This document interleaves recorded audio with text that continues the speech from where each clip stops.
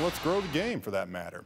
Hey, following one of the best individual seasons in the history of the College of Idaho's baseball program, sophomore Jonah Hultberg has earned first team NAIA All American honors. The Cascade Collegiate Conference Player of the Year hit 426 this spring. He led the Yotes with 21 doubles, 10 home runs, and 66 runs scored. And by the way, his 100 total hits ranked second most in a single season in school history. A product of Timberline High School, Hultberg is the first Yote to claim NAIA first team All-American honors since Caldwell native Isaac Garces did it back in 2012. With that being said, Hultberg is the first non-senior position player in program history to receive this specific accolade.